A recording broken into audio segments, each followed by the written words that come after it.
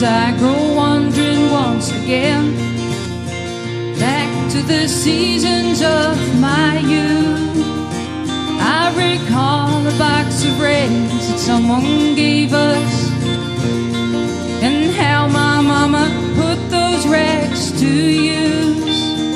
There were rags of many colors, and every piece was small, and I didn't have a coat, and it was fall. Mama sewed the rags together so in every piece with love she made my coat of many colors that I was so proud of. While she sewed, she told a story from the Bible she had read about a coat of many colors. Joseph wore and, then she said, Perhaps this coat will bring you good luck and happiness. Just couldn't wait to wear it. And Mama blessed it with a kiss. My coat of many colors that my mama made for me, made only from rags, but I wore it so proudly. Although we had no money, I was rich as I could be in my coat of many colors my mama made for me.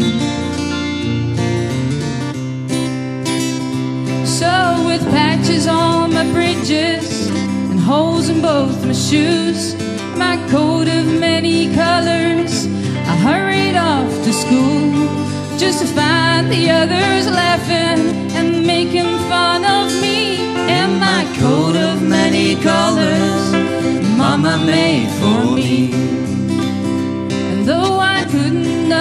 understand it, but I felt I was rich when I told them all the love my mama sewed in every stitch. And I told them all the story Mama told me why she sewed and how my coat of many colors was worth more than all their clothes. They didn't understand it, and I tried to make them see. One is only poor, to be.